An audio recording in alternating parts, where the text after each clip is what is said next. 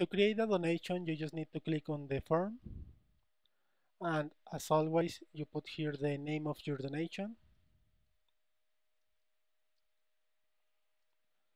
the email of your PayPal account and here you will see a bunch of components.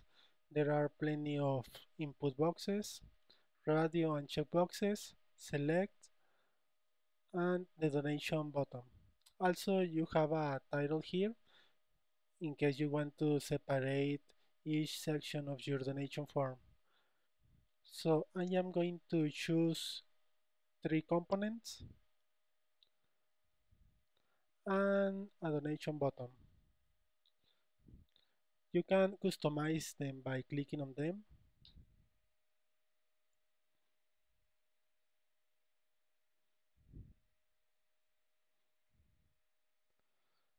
Um, here, each line represents an option.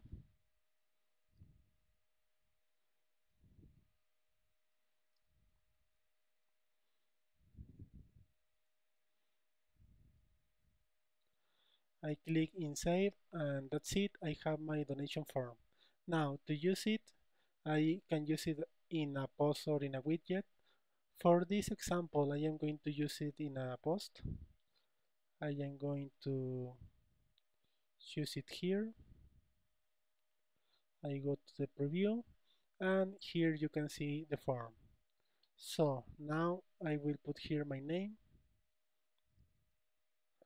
a random amount, a random amount and let's see two two options I hit donate and I will be directed to the PayPal form I mean PayPal site so once I finish my donation I will receive an email with the information.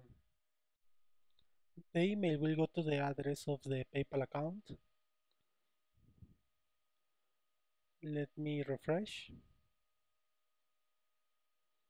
And here it is. And here you can see the information. That's it